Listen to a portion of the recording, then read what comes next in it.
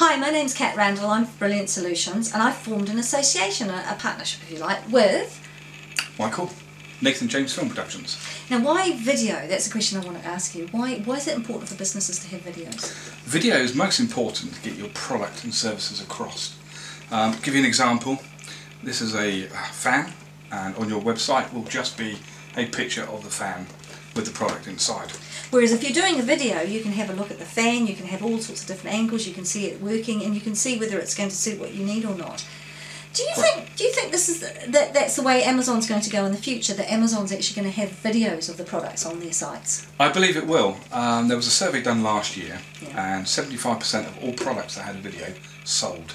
They did a, a test with a pair of socks, and they filmed the socks, and they just had a picture. And those with the video were 75% more likely to sell their product.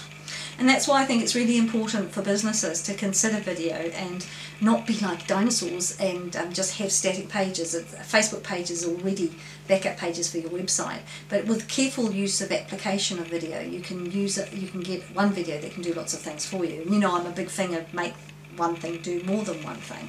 But okay, I'm a small business. I have got a limited budget, so what and I can't afford five thousand and up for a, a business for a business video.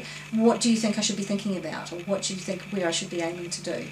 Well, you should be aiming to do um, several videos a year. Um, we have packages together, Yeah, true, Um, and and separately as well. So yeah, but mainly together. Mainly. Pa- packages together, um, which enable you to, to have several videos of your products um, and keep updating those each year.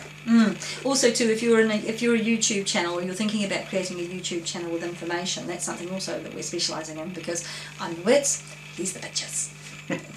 so it's awesome. So if you want to know more information, look down in the comment section and we'll be able to tell you more. Or email email Nathan James or email myself at Brilliant Solutions and we'll be able to walk you through what you need. And we look forward to looking after you. And Think about this carefully because Facebook has followed on Twitter's path and brought in live video banners. And have a look at Andover and District Mencap for an example of a really good Facebook banner that really tells you everything you need to know. Right, that's all that for us for the time being. If you've got any video questions for, for Mike, just send them in and put them on Socially Sorted or Brilliant Solutions, and we will see you soon. Bye. Bye bye.